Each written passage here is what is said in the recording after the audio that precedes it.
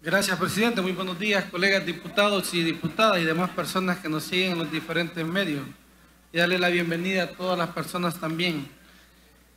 Bueno, Comisión de Obras Públicas, Transporte y Vivienda, Palacio Legislativo, San Salvador, 16 de septiembre del 2019. Señores secretarios de la Asamblea Legislativa, presente. Dictamen número 29. Recomendable parcial. La Comisión de Obras Públicas, Transporte y Vivienda se refiere al expediente número 1132-7-2019-1 que contiene iniciativa del diputado Reinaldo Cardosa en el sentido se reforme la ley de transporte terrestre, tránsito y seguridad vial.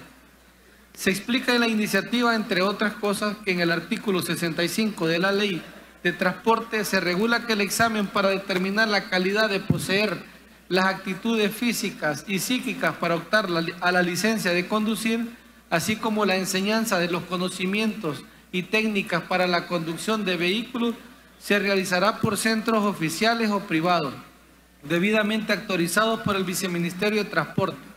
Asimismo, el mocionante establece que con base a la hermenéutica jurídica, el artículo no autoriza a que los exámenes deben hacerse en ambos lugares, es decir, en centros oficiales o privados. Por lo que en lo que respecta al examen psicológico, este debería hacerse en las escuelas examinadoras, ya que éstas tienen a su cargo la realización de los exámenes teórico, práctico y visual. De igual manera, en la iniciativa se contempla que aún existiendo disposiciones legales en la ley en comento, no se estipula de ninguna forma ningún procedimiento práctico para que las personas obtengan su licencia de conducir, lo cual repercute en problemas de tiempo y de dinero para los usuarios que desean obtener una licencia de conducir.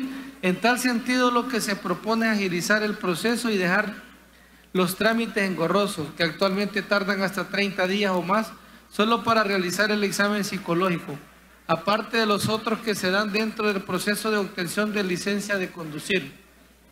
La comisión, analizando el fondo de lo solicitado, concluye que es oportuno y conveniente que esta Asamblea emita dictamen en el sentido de recomendarle al Viceministerio de Transporte y al Director General de Tránsito que tomen las medidas administrativas que permitan agilizar el trámite para la obtención de licencias de conducir y especialmente para que una vez sea cancelado el examen psicológico, ésta pueda realizarse de manera inmediata sin más dilación alguna, dejando pendiente de analizar la propuesta de reforma a la Ley de Transporte Terrestre, Tránsito y Seguridad Vial contenida en el expediente objeto de estudio, hacia el dictamen que se hace el conocimiento del Honorable Pleno Legislativo para los efectos consiguientes.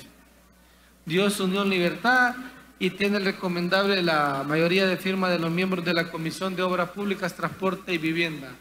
Leído, presidente.